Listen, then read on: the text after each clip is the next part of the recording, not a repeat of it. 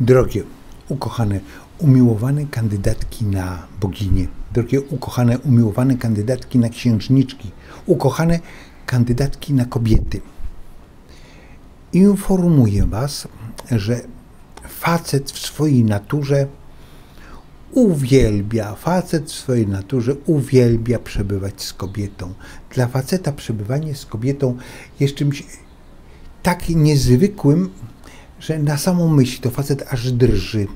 I to drżenie u faceta, te wibracje, które w nim powstają, powodują, że on odczuwa głębokie szczęście z przebywania ze swoją kobietą, ze swoją nowo poznaną kobietą. Jak on ją poznaje, w trakcie jak ją poznaje, kroczek po kroczku, to on za każdym, przy każdym kroczku drży.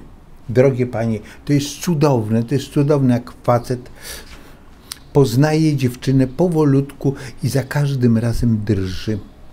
Natomiast kobiety mają taką cechę, że są gotowe po krótkim okresie poznawania faceta zdecydować, podjąć decyzję, że to jest właściwy i wtedy kobieta oddaje się w całości facetowi.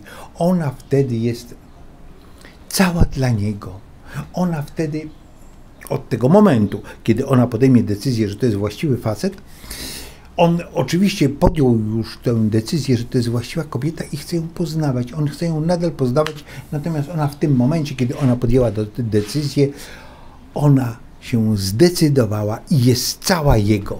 Ona się oddaje w całości, duszą, ciałem i majątkiem czasami też. I w tym momencie facet dostaje coś, co on chciał zdobywać, co on pragnął powolutku, kroczek przez, po kroczku, latami poznawać, odkrywać ten świat latami. Natomiast ona, kobieta, bardzo często, ponieważ ona marzy nie o odkrywaniu, kobieta marzy o tym, żeby powstał związek, żeby powstał taki cudowny, zabetonowany bunkier związku, gdzie są we dwójkę i oddzieleni od całego świata.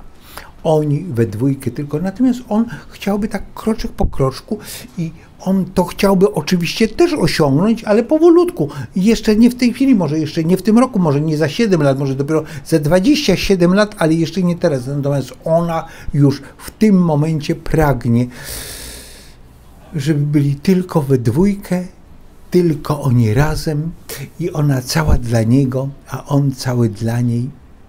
I on wtedy może się potknąć. I to nawet jak się potknie, to może uderzyć się głową o bruk. I wtedy może mu rozum wrócić. Dlatego, drogie panie, ostrożnie, ostrożnie z dawaniem się całej od razu po kawałeczku, tak żeby on za każdym razem drżał, drżał, a on cudownie drży.